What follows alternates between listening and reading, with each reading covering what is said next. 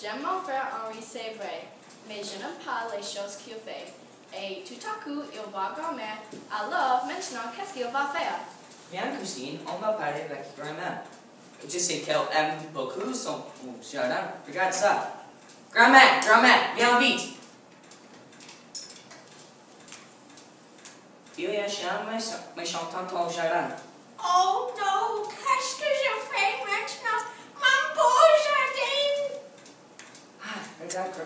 on ne peut pas marcher très vite. Henri, ce n'est pas gentil. Mais c'est amusant.